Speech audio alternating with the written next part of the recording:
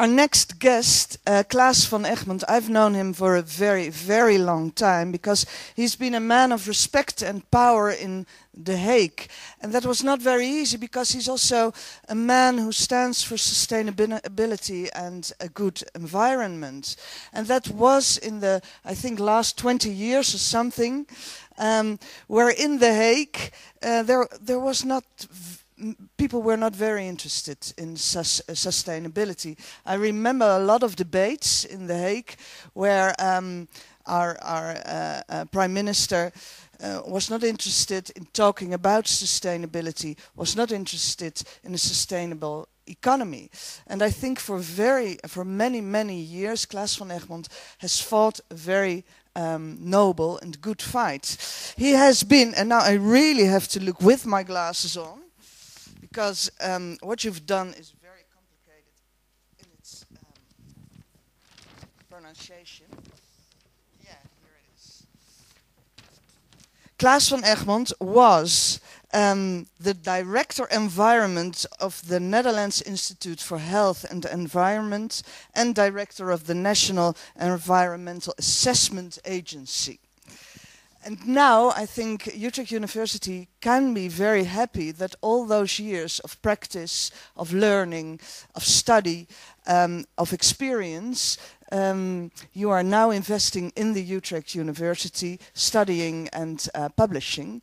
I'm very curious what you're going to tell us. Uh, take the floor. Thank you much. Thank you very much, uh, Femke. Yes, the, the, situation is that I've made all those computations for the government over the over the decades, and I've learned that that, that should be done, and all those te technical solutions should be there, but it will not do the job. So I shifted my attention uh, over the last few years also a little bit in the direction of values and the other half of the story, and that's what my presentation is about this morning in 18 minutes. Uh, well, uh, can I have the first uh, uh, sheet? It's, it's, it's working over here. Oh, yes. The title is, as you can see, Societal Values and Personal Integrity. Uh, so it's about a better world, uh, uh, improvements. It's about societal entrepreneurship and why you should do that. That's all about in these 18 minutes. And when we are looking uh, through that question, we are facing three existential questions. And, uh, well, it's, it's about the most fundamental questions which are there, more or less. Uh, why recurring catastrophes? Why in the world is it going wrong time and over? Uh, on the global scale as well as here in the Netherlands. After, after half a century, we have problems again, we have wars, we have insustainability and all these kind of things. Why? Big question. Second question is, what can we do about it? Can we learn from it something and can we change the whole, the whole story? And the last question, of course, is what can you do about it? And all these three uh, uh, fundamental questions will be dealt with in 17 minutes. You might say, wait a minute, uh, there is democracy in the whole story. And, and that's, we, have, we have worked that for, for over centuries. We thank Mr. Thorbecke doing that. Uh, it will work in that way. But you can decide in a dem democratical sense to make war, to use all the supplies, the resources, the oil, the coal of the world. Uh, all these things can be done in a democratic sense. So it will not do the job uh, fully. Moreover, uh, uh Femke was referring to it uh, when we are looking at democracy, there seems to be something implicit in the societal ends, the maatschappelijke doelen. Um, we never discussed that in all those debates in The Hague. Some ministers were saying it's all about full employment, others were saying it's about the growth of the uh, national product in economical terms. So that was quite implicit. Uh, and of course, there you have the economic growth and the GNP. There is an economic system, and there is also, as you know, a financial system which should support that economical system. But you also know, reading the newspapers uh, nowadays, that it's the other way around. Ends and means, doelen en middelen, are reversed. And that's always very dramatic, as, we will, as you will see. For we have the situation now that the financial system is dominating the real economy. And what about this democracy thing up there? Nothing to be seen you know that in a decent society, it should be the other way around. There should be something like an, an, an, financial system supporting the economy, and the economy should support something like our societal ends. And that's all about values, of course. What do you think that's important in life? What should we develop here in this country? And then we are discussing so, uh, sustainable development, uh, following Mrs. Brundtland.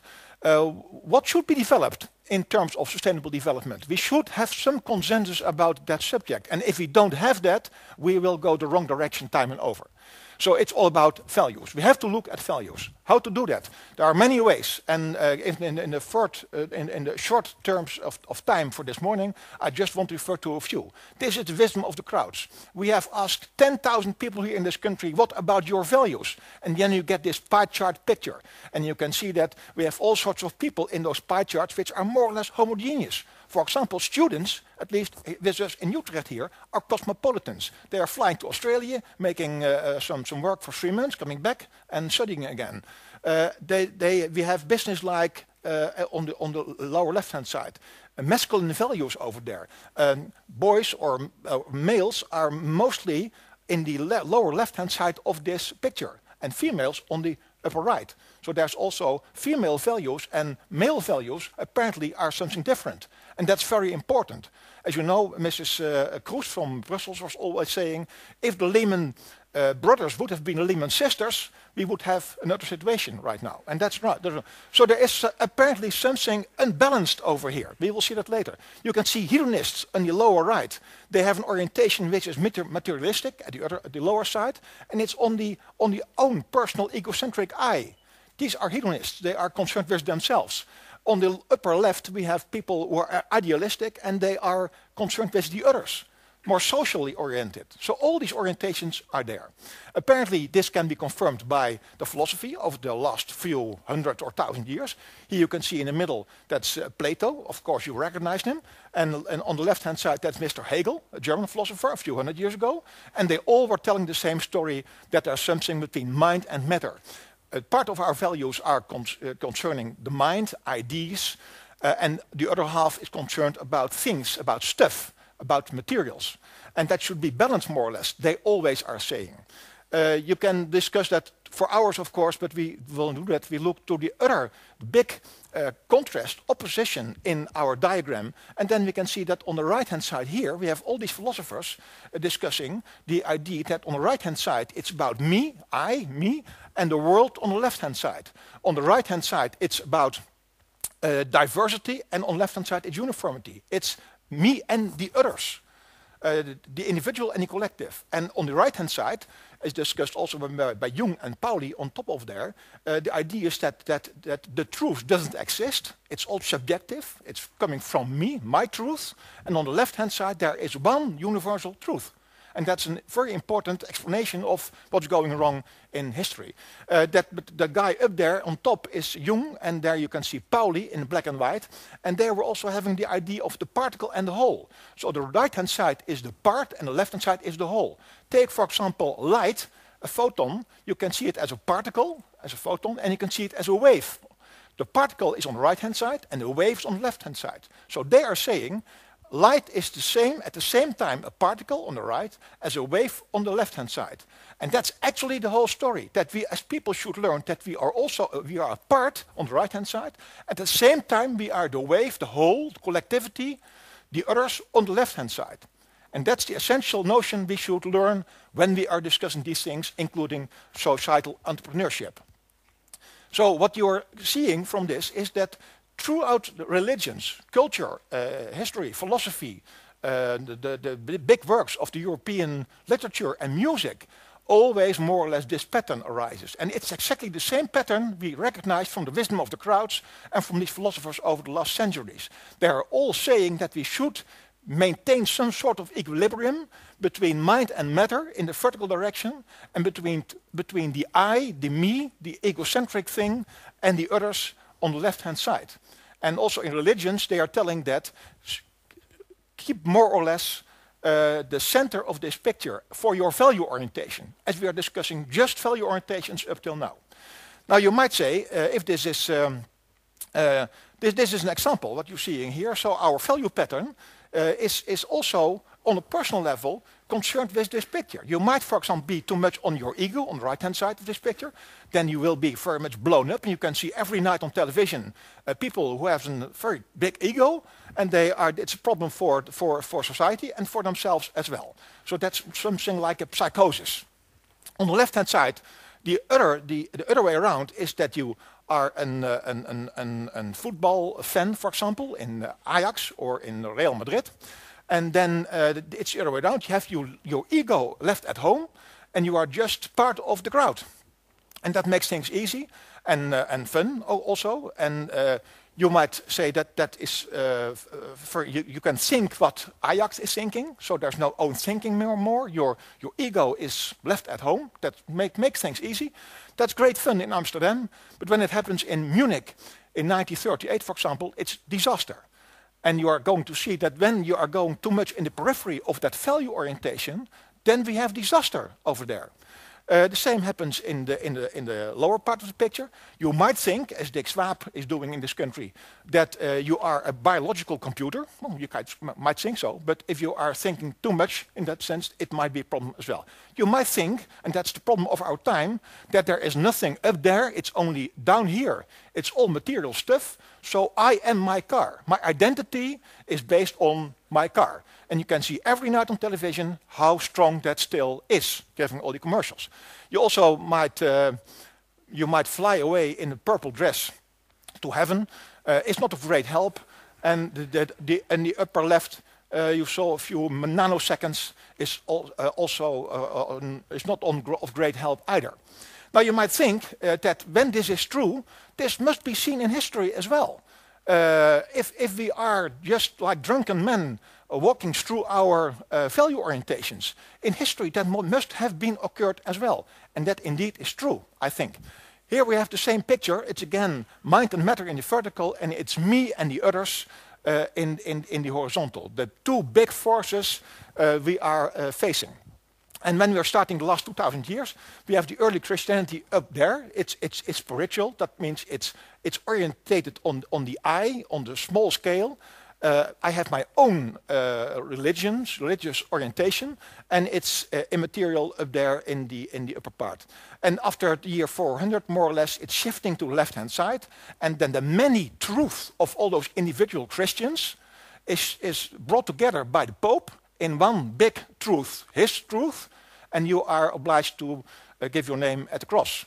And if you don't do that, uh, it's, it's, it's very bad for then they uh, you will get to the stake. And uh, there have been many millions in Europe in those days already killed by all those religious wars. So the problem, I'm telling you that the problem is that a value orientation, which is normal and can be chosen as a human being, when that's exaggerated, it's becoming too much one-sided, it's becoming a catastrophe.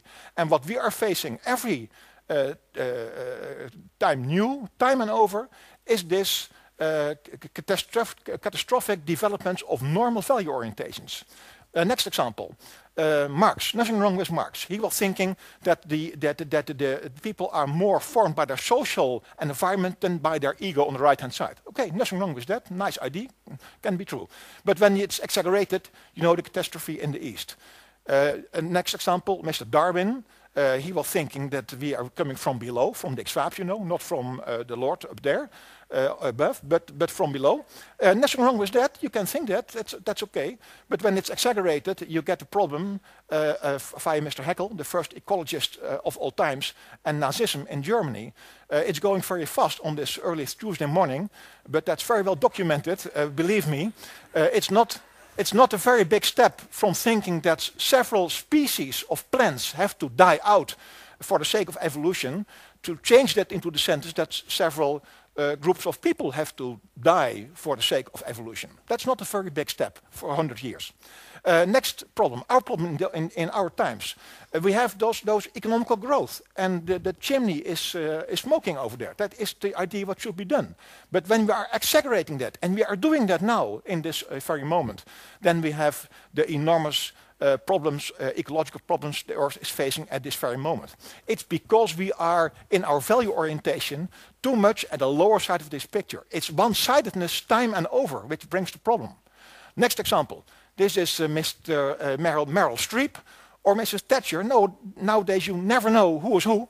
But in, uh, nevertheless, she is there and her thinking is on the right hand side. She said things like there ain't no such thing as society. So she is denying the left hand side of our picture, of our value orientation. And uh, well, what happened, you know that there's also. Five minutes. It's five minutes to go from now. Mm. Okay, thank you.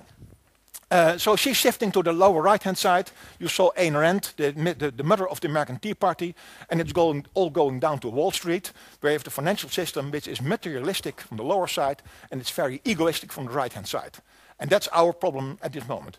I am convinced that the big problem of our times and the big, the next catastrophe, unless we are doing something, is coming from the financial system we are having here. It's fundamentally wrong, and uh, the solutions which are discussed now are not adequate. Um, apparently, there's something like this. We have history where all sorts of institutions and value orientation become extreme. We have authorities like church, state, science, technology, and now capital. And that is an, an, an, an process which is going through the periphery of this, uh, of this value circle. And now we are on the lower right-hand uh, uh, side. And you might say, following Fukuyama, that uh, history uh, is over. Uh, his book over here, The End of History. Indeed, we started upper right and we ended lower right. And the, the values which are combined with this, with this pattern is decadence, hedonism, fragmentation, and barbarism. And these are not my words, they, are written, uh, they were written a long time ago by sociologists like Sorokin in, uh, in Russia. Uh, speeding up um, means that we have apparently bad forces which are bringing the value orientation of society and of yourself to the extremes, which is very dangerous and wrong. There apparently are good forces who are uh, working to the center.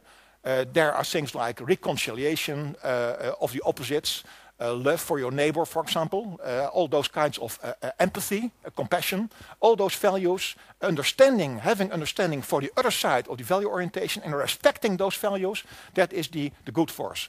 Um, we are seeing that we have to uh, have those centripetal forces, will we ever reach the center?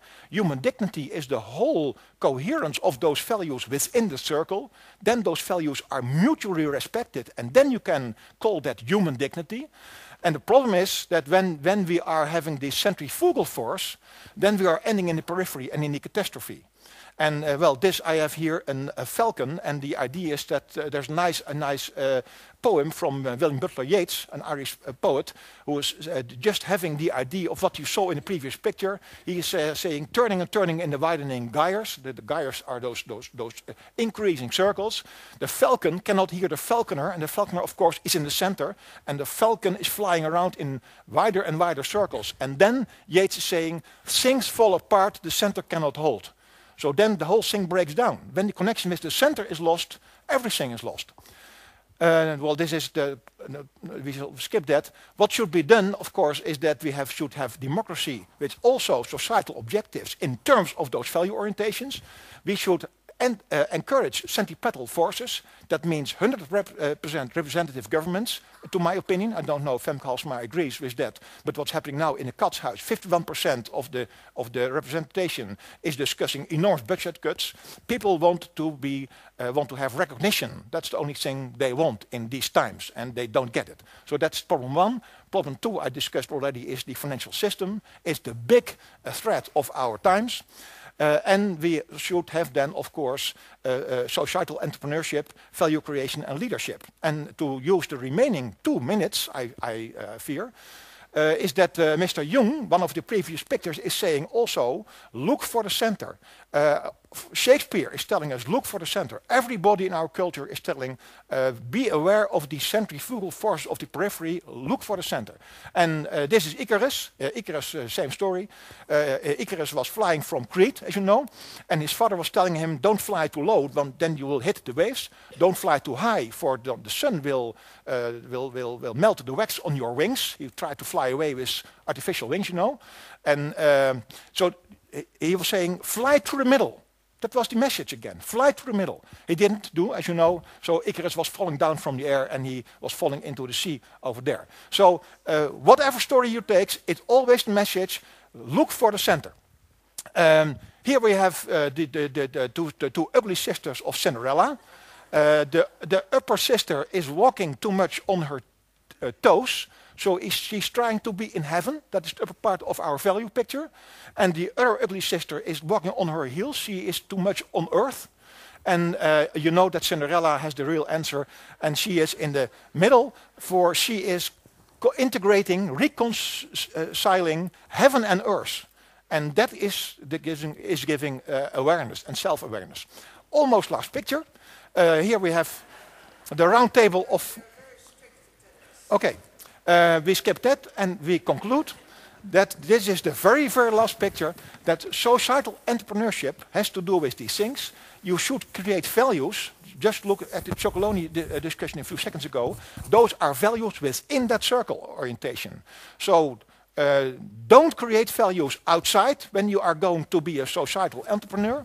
And uh, leadership operates from the center and not from the periphery, where you have all those trained authorities like church, state, and, and, and, and, and whatever.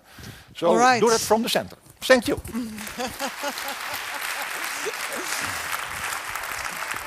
Ben klaar voor? I, I, I, thought it's very courageous yeah. to describe not only the history of society, but also the history of ideas in 18 minutes.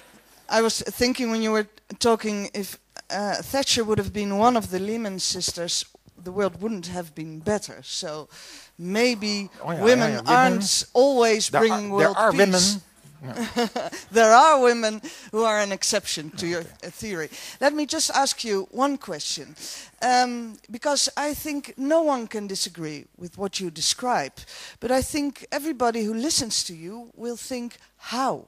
How are we getting there?